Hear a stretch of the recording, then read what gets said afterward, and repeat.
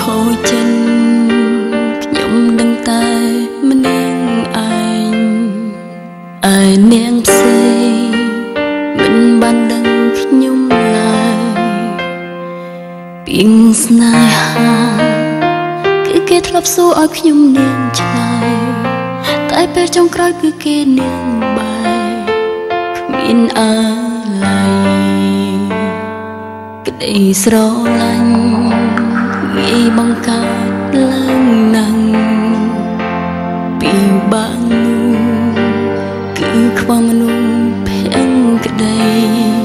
ការខូចចិត្ត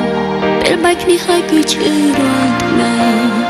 មិនលប់ស្មារតីក៏នៅនឹងឃើញ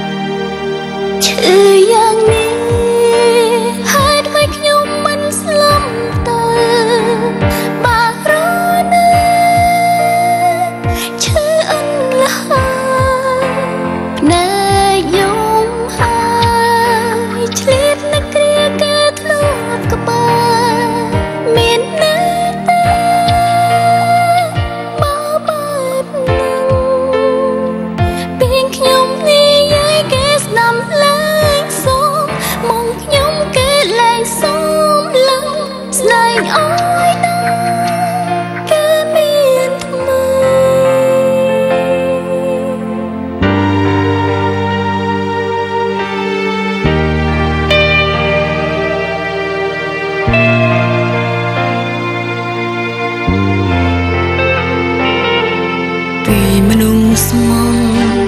បងជាមនុស្សក្បន់ចិនពីការពិនបងជាការអំភ្លេជាប្រងតែគ្មានអានន្ទអារម្មណ៍ស្អីដែលធ្លាប់ភក្តីបងខ្លាំងពីមុន